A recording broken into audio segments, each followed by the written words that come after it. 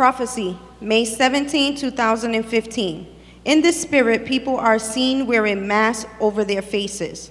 Interpretation, a major contagious disease will arise or return to the USA shortly.